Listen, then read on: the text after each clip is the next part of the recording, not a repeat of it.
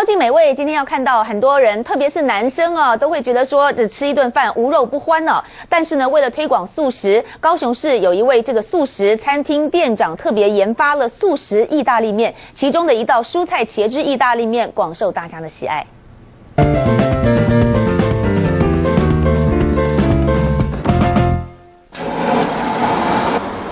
大火正在烹调意大利面的汤汁，这锅汤汁非常的费功夫，光是熬煮的前置作业就很麻烦，因为每一种蔬菜都要切成细末。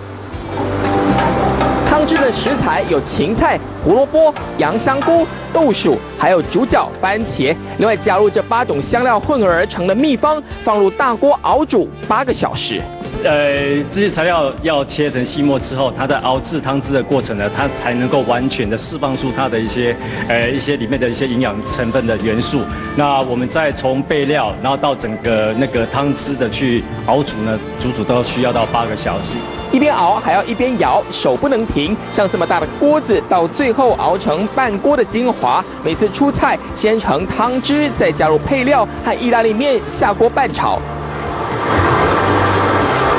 等意大利面吸收了酱汁，大功告成，一盘蔬菜茄汁意大利面终于可以上桌。口感还蛮清爽，然后很顺口。汤汁的香甜美味，口齿留香，几乎到这家店的客人都会点这道菜。